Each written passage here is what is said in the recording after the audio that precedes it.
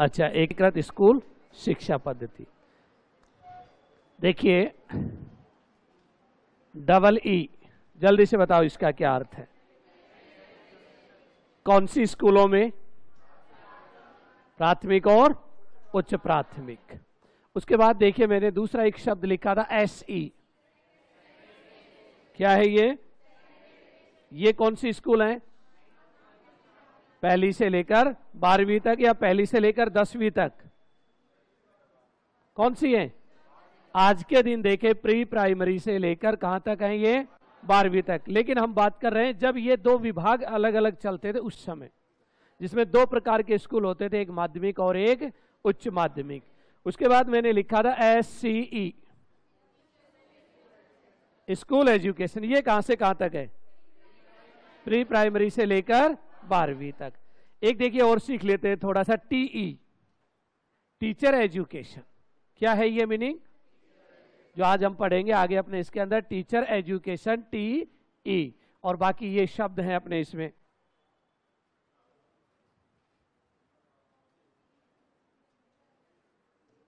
पढ़ रहे थे हम राजस्थान एकीकृत जो अभी बनाई गई थी। स्कूल शिक्षा। कौन सी शिक्षा की बात कर रहे हैं हम? स्कूल शिक्षा पद्धति। या हम इस पद्धति को क्या कहते हैं? इस पद्धति में संकुल बनाए गए थे, स्कूल शिक्षा के संकुल बनाए गए थे। और संकुलों के देखिए कितने स्तर बताए थे मैंने आपको? पाँच। कितने स्तर बनाए गए हैं? पाँच स्तर बनाए गए हैं। हर लेवल पर एक एक अधिकारी का नाम भी लिखा होगा मैंने। राज्य लेवल पर कौन है? जिला लेवल पर कौन है, संभाग लेवल पर कौन है? तो बताइए, जिला लेवल का सर्वोच्च पदाधिकारी का नाम क्या है? क्या नाम है? हिंदी में क्या नाम होगा? पढ़ के देखिए। मुख्य जिला शिक्षा अधिकारी। और खंड लेवल के अधिकारी का नाम?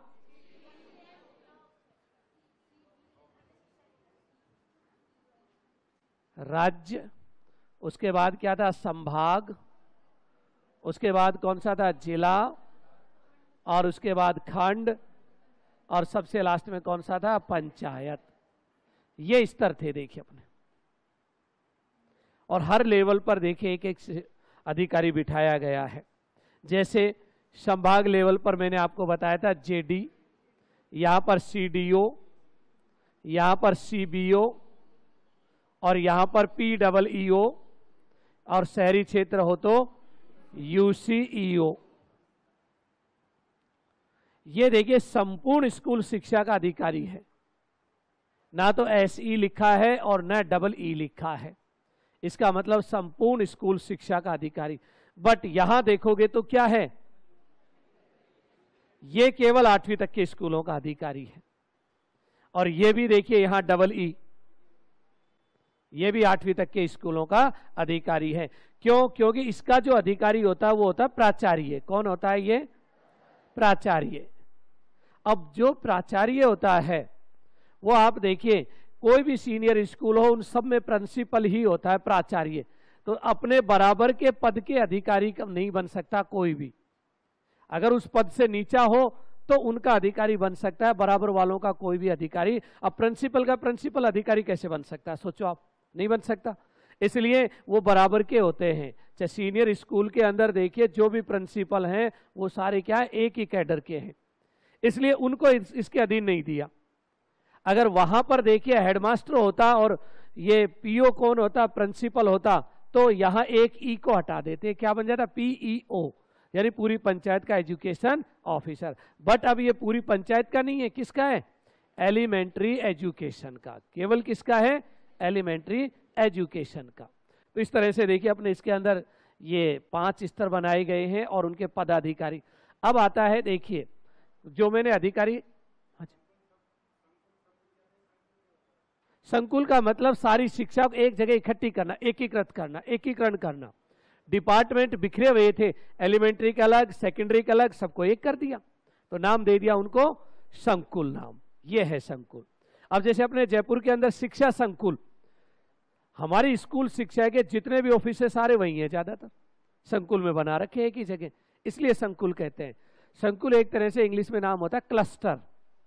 सारी जगह को क्या कर दिया जाए? एक जगह कलेक्ट कर दिया जाए। अब देखिए, अधिकारियों की हम बात कर रहे थे एचएम और दूसरा वाइस प्रिंसिपल जो व्याख्याता से बन रहे ये देखिए, सबसे नीचे अधिकारी। अब एचएम तो है नहीं। कौन बचा हमारे पास? Vice principal. इसके बाद कौन बनता है? प्रिंसिपल उसके बाद कौन था? डीओ उसके बाद कौन है? डीडी उसके बाद जेडी और उसके बाद एडी ये देखिए, ये शिक्षा विभाग के अधिकारी। बट अब मैं आप लोगों से पूछूँ कि ये जो नाम लिखे, ये तो है ही नहीं यहाँ पर, देखो। ये तो सही है, लेकिन ये नहीं है यहाँ नाम। ये कौन बनेगा? मुख्य जिला शिक्षा अधिकारी कौन बनेगा? बनेंगे इनमें से ही कोई एक। क्योंकि ये मैंने आपको लिखवाया था, ये अधिकारी हैं अपने। अब आप सोचो कि जब ये बैठा है संभाग पर तो उसके नीचे कौन है? तो सीधा सा है, ये कहाँ बैठेगा? ज़िले में बैठेगा। तो ये जो है, हमारे पास सीडीओ कौन सी रैंक का होता है? डीडी रैंक का होता है ये। अच्छा खंड लेवल पर अधिकारी कौन है? सीबीईओ। ये कौन होगा? ये रैंक का होगा, देखो। ये कौन सी रैंक का होगा? डीओ रैंक का देखिए, यहाँ बैठेगा। और उसके बाद डीओ के नीचे कौन है? प्राचार्य है, देखो ये। जो पीपी लिख रखा मैंने प्रिंसिपल वो कहाँ होगा? यहाँ देखिए, पंचायत लेवल पर। इस तरह से बनाया गया कैडर, देखिए। प्रिंसिपल डीओ डीडी जेडी और एडी कहाँ बैठेगा? ये राज्य लेवल पर बैठेगा, देखिए। मैंने आपको बताया तीन ही पोस्ट हैं। एक शिक्षा संकुल जयपुर में, एक निदेशालय में, एक आरएससीआरटी उदयपुर में। तीन पोस्टें हैं।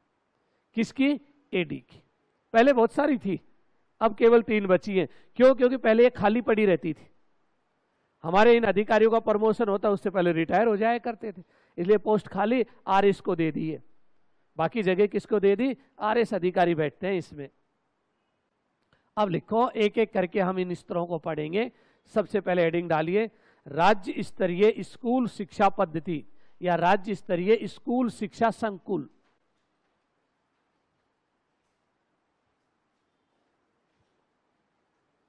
सबसे पहले कौन सा स्तर आता है हमारा?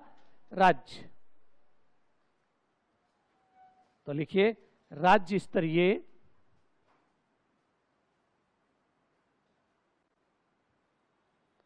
शिक्षा संकुल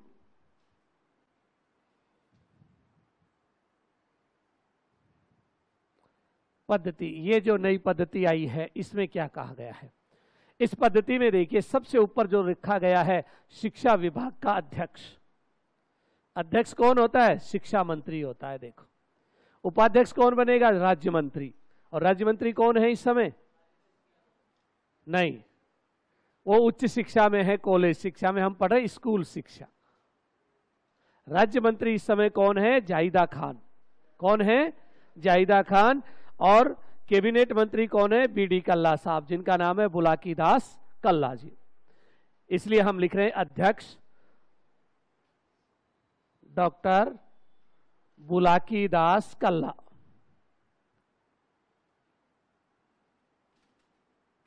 शॉर्ट में हम क्या कहते हैं? बीडी कल्ला जी। ये है शिक्षा विभाग के अध्यक्ष। इनके नीचे कौन होगा? उपाध्यक्ष। उपाध्यक्ष कौन बनेगा? जो भी राज्य मंत्री होगा, वो क्या बनेगा? उपाध्यक्ष कौन है इस समय? जाहिदा मैडम। उसके बाद आता है, देखिए, हमारे स्कूल शिक्षा का संचालक। संचालक का हो या इंचार्ज। और इसी को हम कहते हैं शिक्षा सचिव, एजुकेशन सेक्रेटरी। और ये इंचार्ज बनेगा कौन? ये इंचार्ज बनेगा जो शिक्षा सचिव होगा। वर्तमान में यदि हम बात करते हैं तो देखिए कौन है इस समय? कल मैंने बताया था एसीएस क्या नाम था? अर्पणा अरोड़ा। वो क्या है? एसीएस कैडर की है।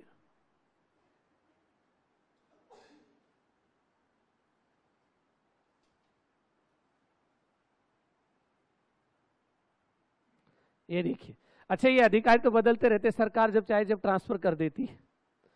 इनके नीचे देखिए होता है और वो देखिए हमारा कहलाता आयुक्त। इनके नीचे कौन होता है?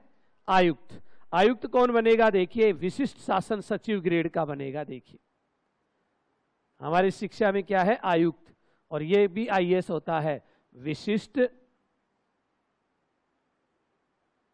शासन सचिव। कौन बनता है? आईएएस अभी देखिए ट्रांसफ़र हुए थे दस दिन पहले यहाँ पर लगाया गया है। किसको लगाया गया था? चित्रा गुप्ता को लगाया गया है। विशिष्ट शासन सचिव देखिए। अर्थात क्या है वो? आयुक्त है कमिश्नर है हमारे शिक्षा विभाग में। क्या नाम है? चित्रा गुप्ता। तो ये नाम कोई ज़रूरी नहीं है कि आपको याद हो, क्योंकि ये तो ट्रांसफ़र होते रहते हैं और बदलते रहते हैं, देखिए, ये सब चीज़ें तो। लेकिन ये ज़रूर पता होना चाहिए, अध्यक्ष कौन होता है, इंचार्ज कौन होता है, आयुक्त कौन होता है। और आयुक्त के नीचे देखिए, चार इंस्टीट्यूट चलती है हमारी स्टेट कैडर की। कितनी चलती हैं? चार। दो तो निदेशालय हैं, देखो। निदेशालय कहाँ पर है निदेशालय? बीकानेर। कितने हैं? दो। संख्या दो। और मुखिया कौन होगा? निदेशक। मुखिया क्या कहलाएगा? निदेशक आई ए एस उसके बाद देखिए दूसरे नंबर पर। R S C E R T ये कहाँ पर है? उदयपुर। अभी तो यही शॉर्ट में नाम सीखो।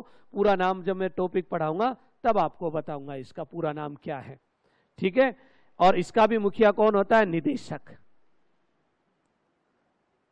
इसका भी मुखिया कौन है? निदेशक, और निदेशक कौन होता है? आईएएस या आरएएस और इस समय कौन है इसके निदेशक?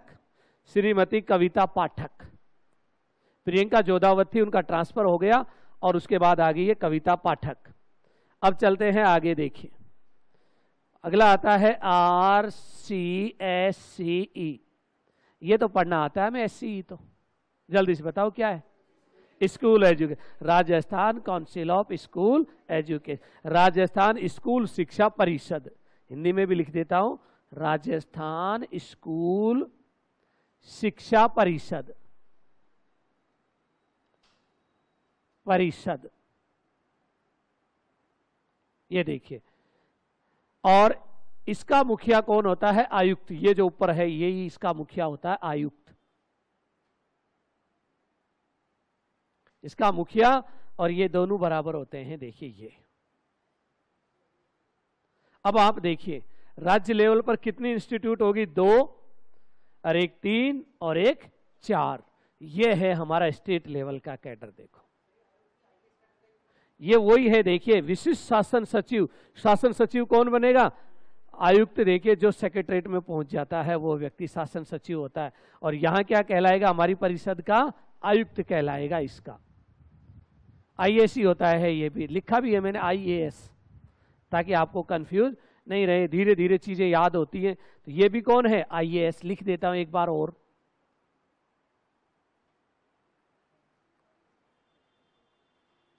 और इस परिषद का एक सचिव होता है एसपीडी स्टेट प्रोजेक्ट डायरेक्टर कहते हैं जिसको। वो भी आईएएस होता है इसका, सचिव जो बनाते हैं। तो आयुक्त कौन है इस समय? चित्रा गुप्ता। निदेशक कौन है इस समय? कोई नहीं है अभी, देखिए। आरएससीआरटी का निदेशक कौन है? कविता पाठक। ऐसे जानकारी के लिए जी के बढ़ाने के लिए लिखना चाहो तो आप लिख सकते हो। इनके नाम की वर्तमान में कौन? ये है पूरा का पूरा स्टेट कैडर, राज्य स्तरीय शिक्षा संकुल पद्धति।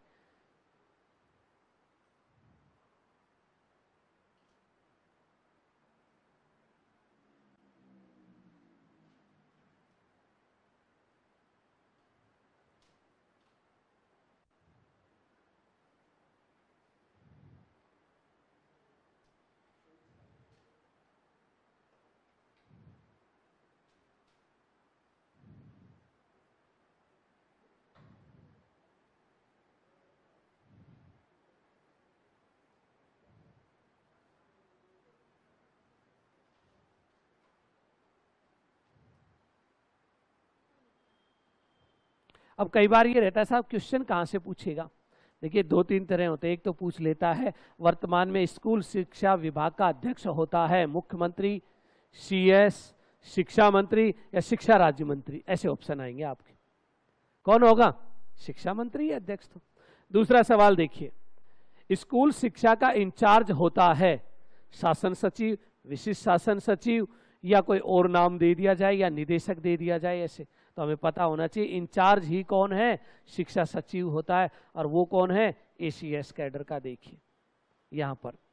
फिर आता है आयुक्त। आयुक्त कौन बन सकता है? जो विशिष्ट शासन सचिव होगा, वो क्या बनेगा? आयुक्त किसी को भी लगा दो, चाहे गवर्नमेंट। अब एक सवाल और भी पूछ लिया जाता है, देखिए। शिक्षा, स्कूल शिक्षा विभाग के पदाधिकारियों को क्रम से लगाओ, ऐसे दे दिया जाए।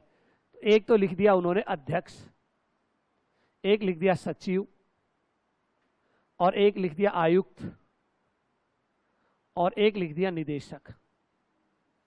शिक्षा विभाग या स्कूल शिक्षा के पदाधिकारियों को क्रम से लिखो।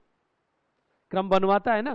भाई, घटते क्रम में या बढ़ते क्रम में? तो एक नंबर पे कौन आएगा? अध्यक्ष है। दूसरे नंबर पर सचिव है। तीसरे नंबर पर कौन है? और चौथे पे कौन सा है? ऐसे सवाल पूछेगा और पूछेगा क्या हमसे? इनको क्रम से लगवा सकता है या इनमें से पूछ सकता है। राजस्थान स्कूल शिक्षा परिषद का मुखिया कौन होता है? आयुक्त। और ये तो मैं अलग से भी पढ़ाऊँगा आप लोगों को। जब समग्र शिक्षा अभियान पढ़ेंगे ना, तब अलग से पढ़ेंगे पूरा स्ट्रक्चर इसका। क्यों? क्योंकि समग्र शिक्षा अभियान को चलाती यही है। समग्र शिक्षा अभियान की नोडल एजेंसी यही है। तो इसको तो पढ़ना पड़ेगा हमें। निदेशालय का काम क्या है?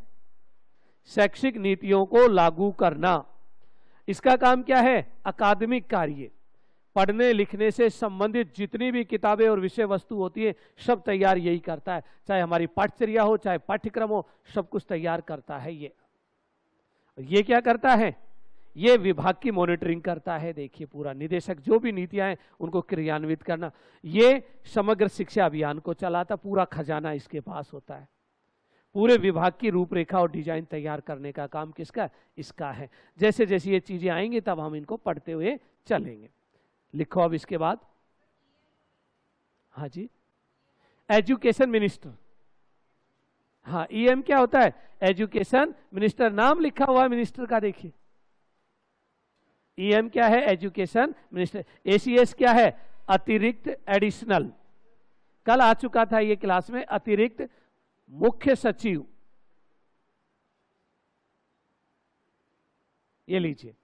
एडिशनल चीफ सेक्रेटरी इसके ऊपर तो केवल एक ही होता सी एस उषा शर्मा जी जो वर्तमान में है, वो क्या है? सीएस जो सभी सचिवों की क्या है? मुखिया है, पूरे सचिवालय की क्या है? मुखिया है।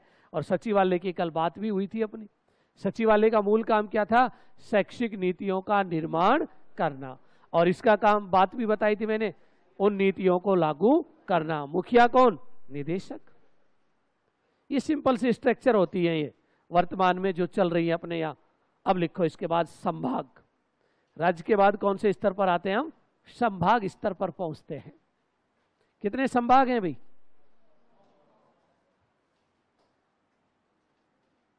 सात हैं कि नौ हैं कि दस हैं? दस भी सुनने को आ रहे हैं। दस नहीं है?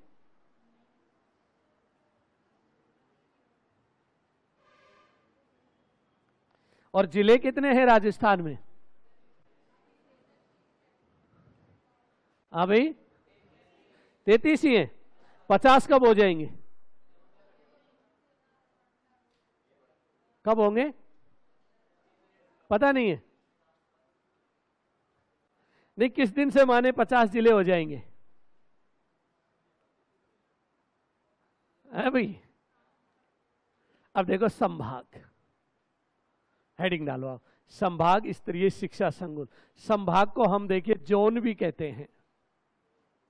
संभाग को हम मंडल भी कहते हैं कई बार। संभाग को जोन भी कहते हैं, मंडल भी कहते हैं हम। और शिक्षा विभाग में जो संभाग हैं, उनकी संख्या कितनी है? अगर संभाग की बात करें हम, संख्या, और वो है नौ। सात पुराने दो नए बने थे। नौ कौन कौन से संभाग हैं, देखिए मैं नाम लिख रहा हूँ, जयपुर, जोधपुर, उदयपुर, कोटा,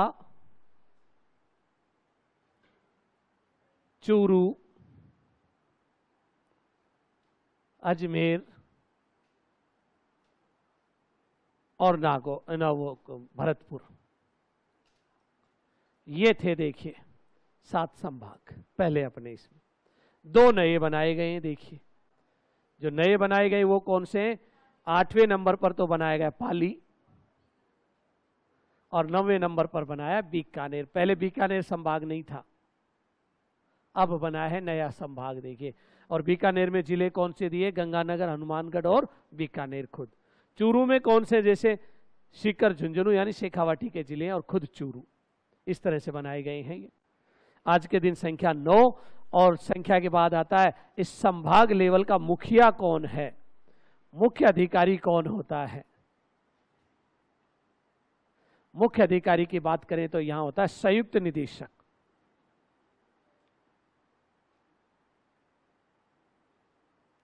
जॉइंट डायरेक्टर जिसे हम शॉर्ट में कहते हैं जेडी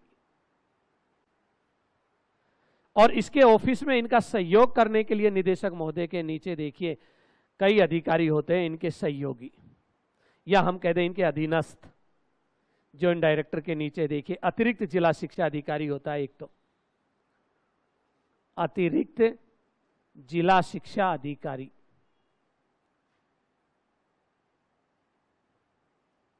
कौन बनेगा अतिरिक्त जिला शिक्षा अधिकारी? प्रिंसिपल स्कूल के प्रिंसिपल की अगर पोस्टिंग यहाँ हो जाती है तो वो कहलाएगा अतिरिक्त जिला शिक्षा अधिकारी। शॉर्ट में हम कहते हैं ADO additional district education officer कौन बनेगा? प्रिंसिपल दूसरा देखिए, होता है उप जिला शिक्षा अधिकारी। उप जिला शिक्षा अधिकारी।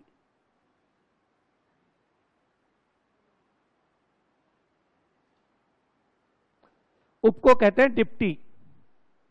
उप को क्या कहा जाता है? डिप्टी कहा जाता है। देखिए अब शॉर्ट में क्या बोलते हैं इंग्लिश में? डिप्टी और यहाँ कहते हैं उप जिला शिक्षा अधिकारी।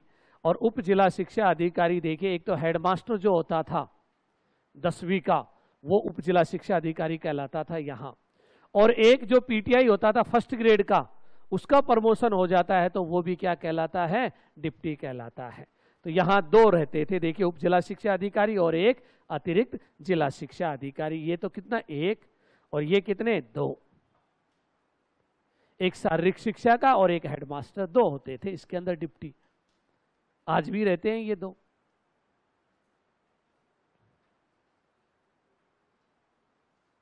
लेकिन अब समस्या आएगी, हेडमास्टर का कैडर खत्म हो गया, अब किसको बिठाएँगे? अब देखो वाइस प्रिंसिपल को बिठाएँगे। भाई, उसकी जगह कौन होगा? क्योंकि वो उसके कैडर के बराबर का है। लेकिन वो तो नाम निकलेगा, देखिए, किसको बिठाना है, आदेश निकलेंगे, नाम में संशोधन होगा। बहुत लंबी चौड़ी प्रक्रिया है, जब होगा तब होगा वो तो। लेकिन आज के दिन अगर हम देखते हैं, अभी तक तो संशोधन किया नहीं गया, अभी तो कौन बैठता है? हेडमास्टर और शारीरिक शिक्षक। दो यहाँ डिप्टी कहलाते हैं और एक प्रिंसिपल कैडर का कौन होता है? अतिरिक्त जिला शिक्षा अधिकारी। और ये तीनों अधिकारी मिलकर क्या करते हैं? संयुक्त निदेशक का सहयोग करते हैं। और पूरे संभाग में जो भी काम होता है, उसके लिए जिम्मेदार यही होता है। अगर किसी संभाग में, किसी स्कूल में तालाबंदी होगी तो निदेशक सबसे पहले इसी को फ़ोन करता है। डायरेक्टर जो पूरे राज्य का बैठा है, वो फ़ोन किसको करेगा? इसको करेगा ज़िले में नहीं करता वो। संयुक्त निदेशक को कहेगा, तुम्हारे देखे उस ज़िले के, उस स्कूल में क्या घटना घटी। तुरंत बताओ, मुझे रिपोर्ट करो एक घंटे में। ये क्या करेगा? जिला लेवल पे फ़ोन करेगा। किसको? किसको करेगा? मुख्य जिला शिक्षा अधिकारी को कहेगा कि आपके उस स्कूल के अंदर, तुरंत मुझे बताओ आप आधे घंटे के अंदर। क्योंकि उन्होंने एक घंटा दिया तो वो आधा घंटा देगा। और मुख्य जिला शिक्षा अधिकारी तुरंत खंड लेवल के अधिकारी को कहेगा 20 मिनट में जल्दी पहुंचो, क्योंकि उसके निकटतम दूरी पे होता है। और खंड शिक्षा अधिकारी किसको कहेगा? पीओ को। दो मिनट में बताओ मुझे, क्योंकि उससे दो किलोमीटर दूरी पर स्कूल होगा। ये एक चैनल होता है। जब राज्य लेवल पर आदेश निकलता है तो डायरेक्ट लागू नहीं होते आदेश। उसी आदेश को संयुक्त निदेशक निकालेगा। उसी आदेश को मुख्य जिला शिक्षा अधिकारी निकालेगा। उसी आदेश को खंड शिक्षा अधिकारी निकालेगा।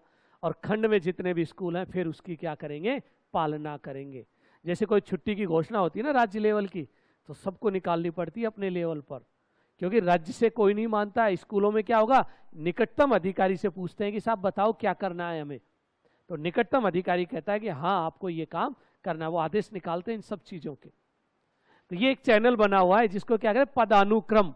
और यदि आपने पदानुक्रम तोड़ दिया, जैसे देखिए, सबसे नीचे कौन है वॉइस प्रिंसिपल उसके ऊपर कौन था? प्रिंसिपल, उसके ऊपर कौन था? डीओ उसके ऊपर कौन है? Deputy director. उसके ऊपर कौन है? जेडी और उसके ऊपर कौन है? एडी अब आप देखिए। यहाँ नीचे एक टीचर है हमारे पास। कौन है? टीचर लगा हुआ है। अगर वो टीचर देखिए सीधा यहाँ पहुँच जाता। मान लीजिए, जिला शिक्षा अधिकारी के पास, कहाँ पर? ज़िले में। और वहाँ जाके शिकायत करता है, साहब ऐसे ऐसे मेरे स्कूल में ये समस्या है। वो टीचर से है या प्रिंसिपल से है हेडमास्टर से है या गाँव से है, जो भी शिकायत करता है। अब देखिए, ये निर्भर करता है इस व्यक्ति पर। ये व्यक्ति उसकी बात सुन भी सकता है। कई बार व्यक्ति देखिए, ऐसे आइडियल भी होते हैं। कहते हैं, आप आ कैसे गए? डायरेक्ट आ नहीं सकते, आप कभी भी किसी अधिकारी के पास। पदानुक्रम बना रखा है। ऐसे तो हर कोई बीकानेर पहुँच जाएँगे, वहाँ डायरेक्टर के पास सब लोग शिकायत ले लेके। तो पहले तो वो नोटिस दे सकता है उस व्यक्ति को कि आपने क्या अपने जो निकटतम अधिकारी है पीओ उसको बताया क्या? क्या आपने खंड क्या जो शिक्षा अधिकारी उसको बताया क्या? वो कहता नहीं बताया। तो उसको नोटिस देगा। और उससे जवाब पूछेगा कि आप बिना अपने देखिए निकटतम अधिकारी को बिना बताए विद्यालय छोड़कर कैसे आ गए आप? तो ध्यान रखना इस चीज़ को। वो अधिकार, कई ऐसे अधिकारी होते कोई ध्यान नहीं देते। ठीक है, आगे समस्या है। देख लेंगे भैया आपकी समस्या। लेकिन बता रहा हूँ, ये कहलाता पदानुक्रम। क्रम होता है पदों का, आप कैसे तोड़ सकते हैं? नहीं तोड़ सकते, क्योंकि राज्य सेवा में आने पर आपको इन पदानुक्रम की क्या करनी पड़ेगी? माननी पड़ेगी। जब मैं आपको प्रबंधन के सिद्धांत पढ़ाऊँगा, उसमें आता है स्केलर चैन। हेनरी फ्यूल का एक थ्योरी आएगी। उसके अंदर चैन को नहीं तोड़ सकते हम। चैन को जब तोड़ सकते हैं जब हम हमारे उच्च अधिकारी से पूछ ले, जैसे ये टीचर है, अपने प्रिंसिपल से या खंड शिक्षा अधिकारी से पूछ ले सब में जिला शिक्षा अधिकारी से संबंधित मेरी समस्या है, क्या मैं जाऊँगा? अगर वो परमिशन दे देता है तो आप जा सकते हो। लेकिन उसको अवगत कराओगे आप, उसको बताओगे, लिखित या मौखिक जैसे भी सहमति है, वो आप बताओगे, फिर जाओगे आप। और वहाँ जाके आप उनको कहोगे, वो आपसे पूछेंगे, साहब, मैंने लिखित परमिशन या मौखिक परमिशन लिए लिखित लिए तो ये रही। मौखिक है तो ये रहे, आप साथ फ़ोन करके बात कर लीजिए। तो फ़ोन करके बात भी कर सकते हैं। तो ये एक पदानुक्रम चलता है। हाँ जी। तो फिर खंड शिक्षा अधिकारी बैठा हुआ है उसके पास जाइए आप। वो सॉल्यूशन करेगा। अगर वो सॉल्यूशन नहीं करता है और आप उसके न्याय से देखिए, सहमत नहीं है तो वो सारे कागजात और रिपोर्ट लेके फिर उच्च अधिकारी के पास जाएँगे। ऐसे नहीं, वर्बली लेके चले जाएँगे। आप सारे दस्तावेज़ लेके जाएँगे, जो भी आपने उनको दी थी शिकायत, साहब मुझे दस दिन हो गए, इन्होंने मेरी सुनवाई नहीं करी आज तक, इसलिए मैं आपके पास आया हूँ। अब आप लीगल हैं। ऐसे तो देखिए, आप खुद सोच के देखो एक मिनट, अगर निदेशक के पास देखिए, हमारे लाखों टीचर हैं, सबकी कोई ना कोई समस्या, निदेशक के पास लाख समस्या पहुँच गई तो क्या होगा? सोचो एक मिनट, हो ही नहीं सकती ये चीज़। फिर इनको क्यों बिठा रखा है भाई? ये सब कौन है?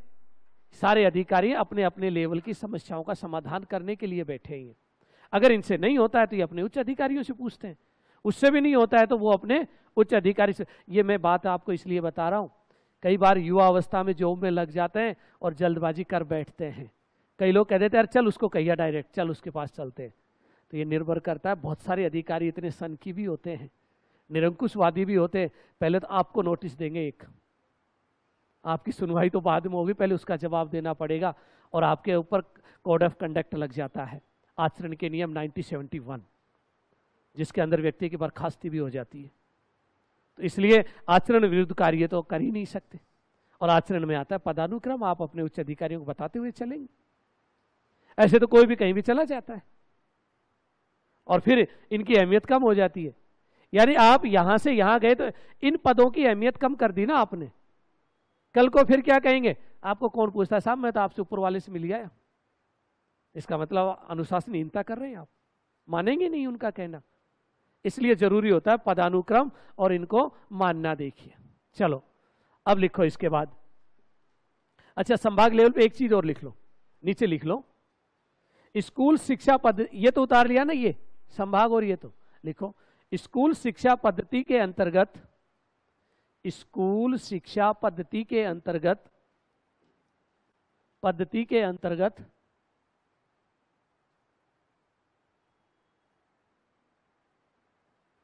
संभाग स्तर का मुख्य पदाधिकारी, संभाग स्तर का मुख्य पदाधिकारी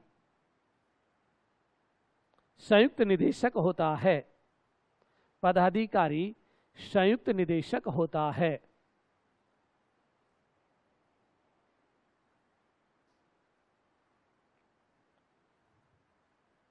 कार्य लिखो। नंबर एक। हाँ जी। लिखो कार्य। कार्य नंबर एक। संभाग की संपूर्ण शिक्षा व्यवस्था करना। संभाग की संपूर्ण शिक्षा व्यवस्था करना।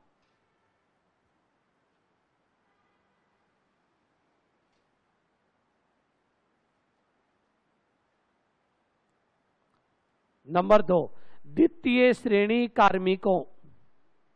द्वितीय श्रेणी सेकंड ग्रेड कहते हैं इंग्लिश में। द्वितीय श्रेणी कार्मिकों की नियुक्ति करना। द्वितीय श्रेणी कार्मिकों की नियुक्ति करना। नियुक्ति को अंग्रेज़ी में कहते हैं ज्वाइन कराना। अब सेकंड ग्रेड में कौन होता है? सेकंड ग्रेड का अध्यापक। सेकंड ग्रेड का पीटीआई सेकंड ग्रेड का बाबू सेकंड ग्रेड का लाइब्रेरियन ऐसे बहुत सारे पद होते हैं स्कूलों के अंदर। उन सब का नियुक्ति अधिकारी कौन होगा? ये। तो फ़र्स्ट ग्रेड का कौन होगा? निदेशक। बीकानेर जो है, आप लोगों की जब पोस्टिंग होगी तो आपको बीकानेर बुलाया जाएगा काउंसलिंग के लिए। अगर काउंसलिंग होती है तो। नहीं तो ऐसे भी दे दी जाए पोस्टिंग पहले तो ऐसे ही दी जाती है। लेकिन आपका नियुक्ति अधिकारी कौन होगा? निदेशक। सेकंड ग्रेड का कौन होगा? संयुक्त निदेशक। अब चलो इसके बाद, संभाग के बाद आते हैं जिला स्तरीय। कौन से स्तर पर आते हैं हम? ज़िले पर आते हैं, देखिए।